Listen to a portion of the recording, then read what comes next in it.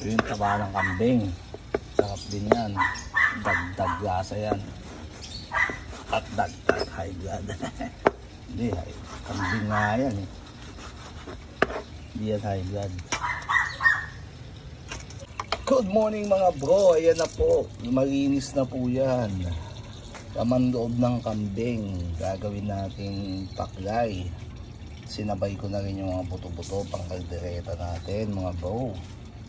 Mamaya special yan. Happy birthday sa aking kapatid na si Bern. Pupunta tayo dyan pagluluto at ang kaldereta tsaka paklay na kambing. I-ready mo ng malamig na beer natin dyan bro. Good morning. Eh, linalangaw na. Good morning po sa inyong lahat.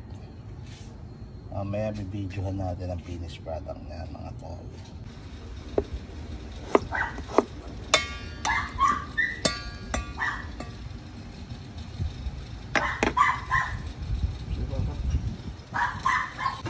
Ito na malapit na maluto ang ating kalderetang kambing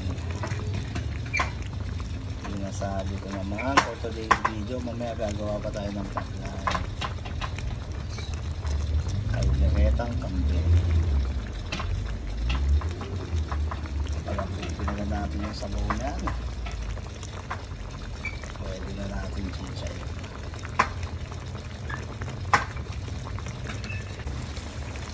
luto na ang kalderetang kambing ni bro. Ayan napakaanghang yan mga boss. Masarap sa beer at kanin. To putok bako yan may mga ang humingi shout out po Mr. Mahusay sa pagbibigay ng sobra pati mga taba ang kambing yan kalderetang kambing natin DSP Spider. Kanin na mga bro